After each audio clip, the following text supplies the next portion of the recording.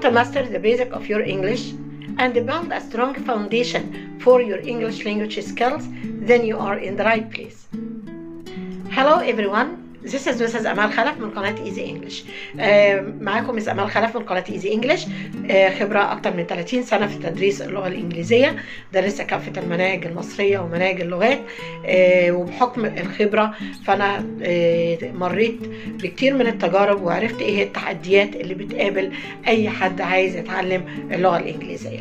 علشان كده أنا معاكم النهاردة في الكورس بتاعنا وعنوان الكورس بتاعنا Master Your English في خلال الكورس ده هنبدأ بوضع أساس لتعلم اللغة الإنجليزية بداية من الحروف إلى القواعد وال vocabulary أو الكلمات أو كمان اللانجوج سكيلز أو المهارات اللغوية that you need to use in everyday life إن أنت تقدر تستخدمها في حياتك اليومية. But before we start our course آه، هاخدكم كده في جولة نتعرف الكورس بتاعنا عبارة عن إيه. Let's get started.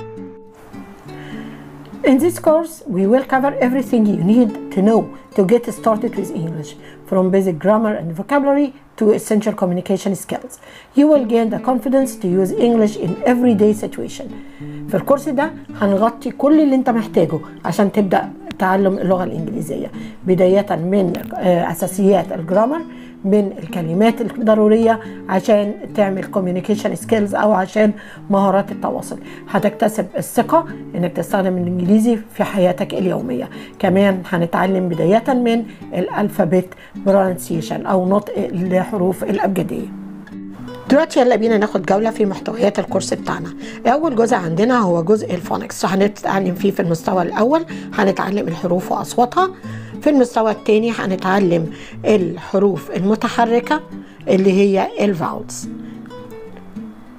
في المستوى الثالث هنتعلم ال long vowels الأصوات الطويلة. المستوى الرابع هنتعلم ال digraphs ودي الحروف الساكنة اللي هي بتتكون مع بعض. المستوى الخامس هنتكلم عن ال diphthongs.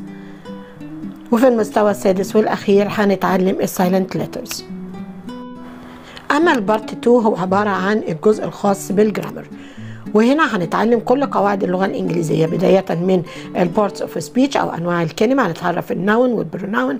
هنتعرف على verb to be verb to have واستخداماتهم وإزاي نعملهم في النفي وفي السؤال. كمان هنتعرف على الأفعال الناقصة أو ال modals. هنتعرف على ال sentence structure أو تركيبات الجملة. إزاي أعمل جملة بسيطة وإزاي كمان أكون السؤال سواء الاستفهامي أو بأداة الاستفهام. وهننتهي بيه الجزء الخاص بالأزمنة وهنا هنتعلم كل الأزمنة بتاعة اللغة الإنجليزية. بكده نكون خدنا فكرة كاملة عن الكورس بتاعنا ومحتوياته.